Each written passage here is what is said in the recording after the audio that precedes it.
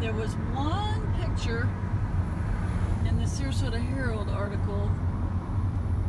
This is, I, I don't know how many acres this is, but it's non-stop really all through the edge of Palm Air. You can see pile after pile after pile. Now here I am at Whitfield and Lockwood Ridge. So I'm going to turn, so I'm heading north. Oh look, the medallion home sign right there.